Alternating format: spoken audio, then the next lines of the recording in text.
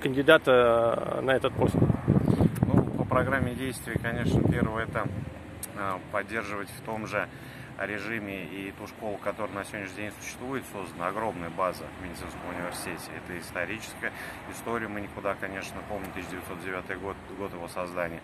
А, вся медицинская деятельность, образовательная деятельность. Университет огромную работу проделал за предыдущие годы и продолжает динамично развиваться. Но время диктует свои, конечно, а, направления. И нужно развивать и медицинскую деятельность, нужно развивать образовательную деятельность. Мы прекрасно понимаем задачи, которой перед нами стоят. Это коллективы и научные коллективы, кадровый потенциал нашего университета. Ну и, конечно, конкурентоспособность, в первую очередь, которая сегодняшний день немаловажная.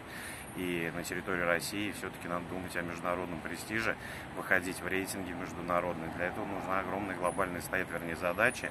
И перед нами стоит большой план работы, который мы, в принципе, уже приблизительно я в своей программе озвучивал, а, как кандидата в ректоры. И с коллективом в дальнейшем будем его решать. А если говорить о каких-то конкретных вот проблемах, э, которые вот сейчас вот вы в первую очередь собираетесь э, решить, может быть, какие-то практические шаги предпринять? Ну, первое, я бы ее, наверное, не то что проблемой, а то, что бы хотела развивать, это поддержка, поддержка и работа с молодежью, потому что старшее поколение, конечно, у нас есть, оно заслуженное, оно делится своей школой, но молодежь надо растить, я имею в виду и научно-педагогический состав, и врачей готовить, открывать новые специальности, новые направления подготовки, возможно, новые факультеты и работать именно в этом направлении, что нашла параллельно работа и с образовательной частью, и с медицинской, чтобы была так называемая коллаборация медицинская образовательная. Все-таки мы вуз, и перед нами стоит задача не только образовательная, подчеркну, но и медицинская. Если это делать все вместе сообща, то я думаю, у нас и должно получиться. По научной работе, конечно, стоят большие перспективы для входа в международные рейтинги. Нам это просто необходимо.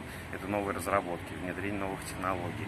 Это партнерство с э, организациями государственными, частными и, конечно, консорциум с другими университетами. На сегодняшний день ВУЗ уже вошел в консорциум университетов медицинских, и вот это направление тоже развивать. И цифровизация – одно из направлений этого консорциума, в, котором, в направлении которого мы сейчас будем двигаться.